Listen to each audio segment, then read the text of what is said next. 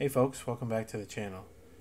Today I'm doing a video showing how I can take a InDesign file set for digital or RGB output and convert that over to uh, CMYK ready for print. This came from a, uh, the motivation for this video came from a Reddit post that I saw. Is there a way to make changes apply to RGB and CMYK at the same time? I have a document that needs frequent updating. I am exporting for both print and digital. Currently working in RGB, need to adjust to uh, swatch values for CMYK each time I want to print the latest version. Is this possible to automate this? Thanks. So what I have here is a file that I set up. This is from the official Tokyo 2020 um, branding standards guide basically. If I go into my swatches uh, palette here, you can see that I have all of my colors exactly as the um, RGB colors are listed here. So if I click on my red here, you can see my RGB value is 238, 51, and 78, just as it is below here. If I click on this, you can see it. This is a process color and the color mode is set to RGB. And I've done that for all the other colors here. So if I take this now and I export it, and I will just leave this here, RGB original file, I'll hit save. When I go up to my output, I'm going to make sure that my color is set to document RGB. Uh, if you're using a preset like press quality, it will automatically put it to document CMYK. So in this case, I'm going to change it to document RGB, hit export.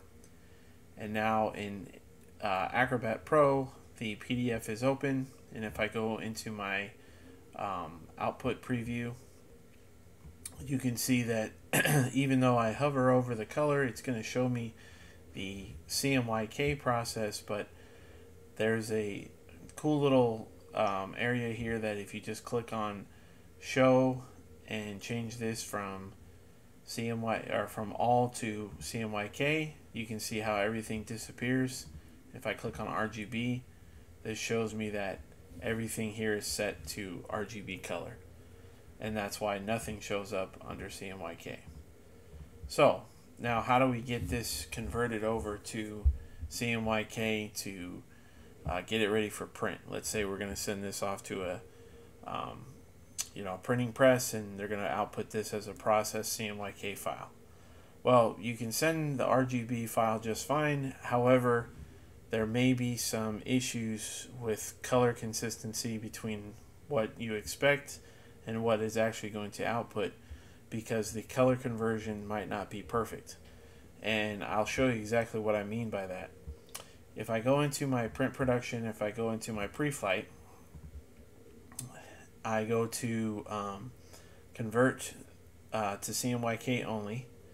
I'm gonna hit analyze and fix. This that's one of the uh, default pre-flight profiles in Acrobat Pro, and I'm just gonna call this uh, CMYK converted, and I'll hit save. And so you can see here convert uh, color to US web coded SWOP version 2, 720 objects. So it converted everything just fine. If I go back to my output preview and I click on RGB, you can see now nothing shows up. And if I leave it on CMYK, everything shows up here. So perfect. We've we've converted everything over to CMYK, right? So now we can go ahead and send this off to press. Except that the colors are not exactly the way that we wanted it to be or want them to be. And what do I mean by that? So right here, if I hover over the red color here, you can see the original RGB output was 238, 51, 78. And the CMYK desired output is 0, 094, 65. So if I hover over this red color, it should have 0, 094, 65 as my um, CMYK percentages, right? But you can see that's not the case.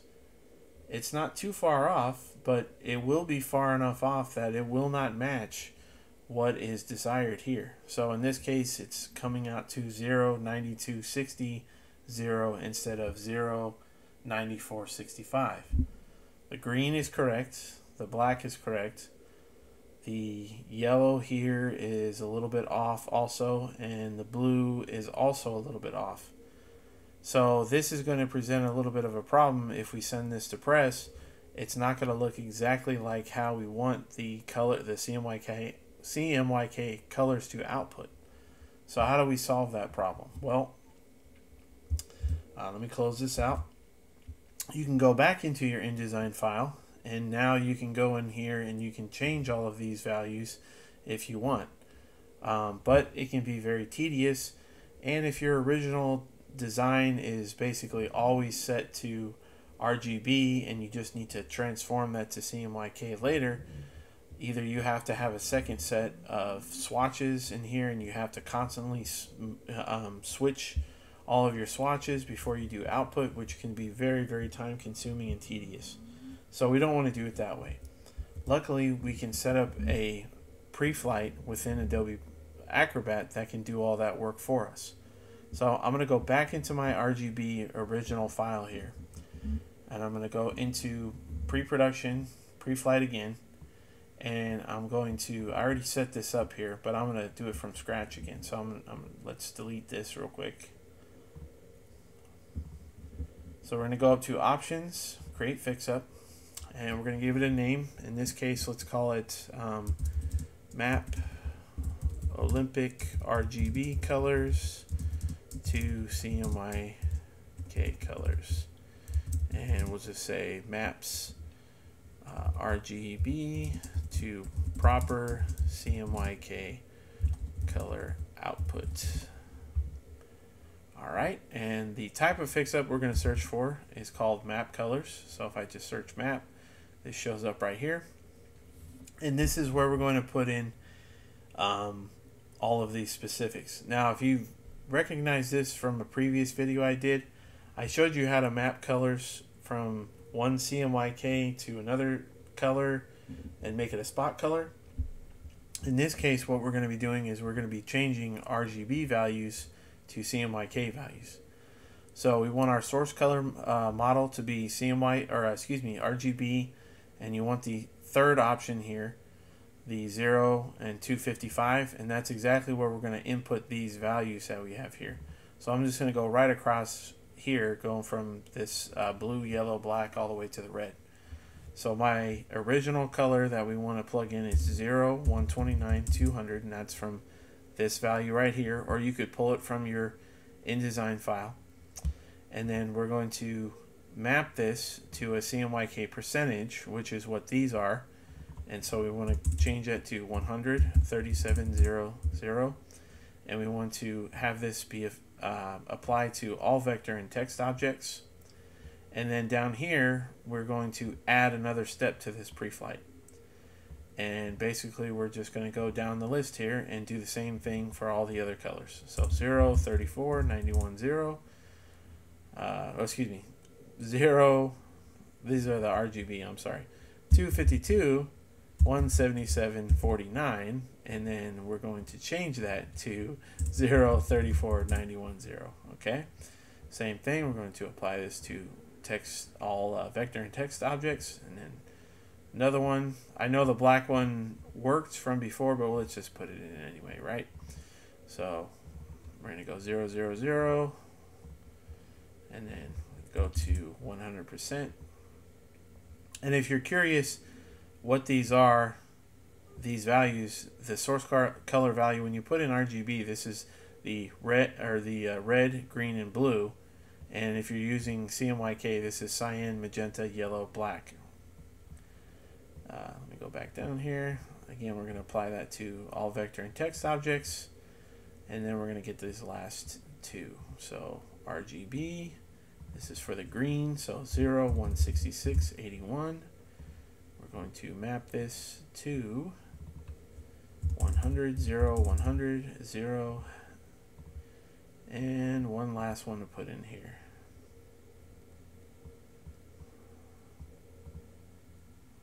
RGB is 2, 38, 51, 78. CMYK values are 0, 94, 65, 0. And again, we need to apply this to all vector and text objects. So I'm going to hit OK. And now if you see here, if you search out map in your uh, the toolbox here, you'll see this is the profile we just created. So map Olympic RGB colors to CMYK colors. I'm going to hit fix. And I'm going to call this uh, CMYK converted properly. I'll hit save. It's going to go ahead and run through it. You can see here it did it to 300 objects. So if I go back in here and I click on my RGB, again this has disappeared. The reason these didn't disappear is because we did not apply any kind of um, conversion method to this part of the doc of the uh, the color palette here. But it's not really important. It's the colors up above that are important. So if I go back to CMYK, this shows all the CMYK elements, and if I go back to all, it shows us everything.